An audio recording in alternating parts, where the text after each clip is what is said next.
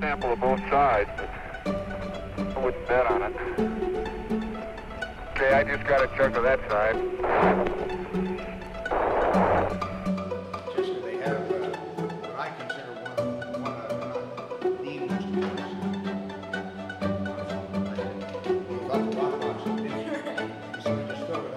Can you talk about kind of what the what went into your sampling strategy and how you chose which samples to bring back? The idea was to get as, as broad a spectrum of new samples as we possibly could, and that turned out pretty well. We did.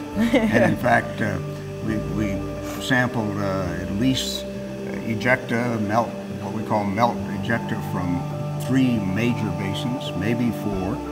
Uh, we sampled uh, fragments that almost certainly came from the deep mantle of the moon. We didn't know that at the time. That's only recently figured that out.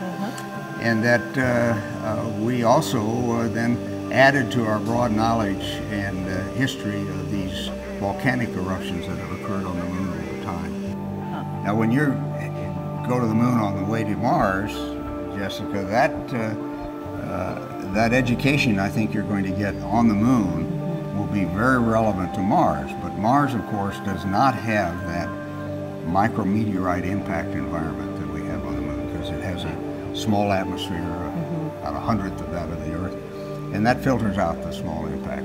The main weathering process on the moon are these micrometeorite impacts and solar wind spallation of the surface. Uh, solar winds made up of high energy particles, so they actually erode uh, the surfaces of rocks as well as uh, uh, change the character of the debris layer on the moon. On Mars, the dominant erosive force is wind. Wind. Yep.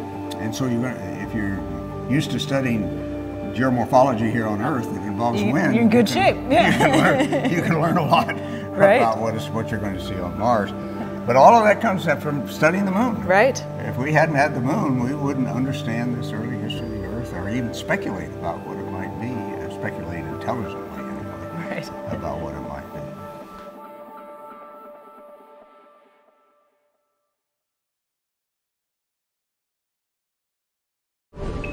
Subscribe for more space.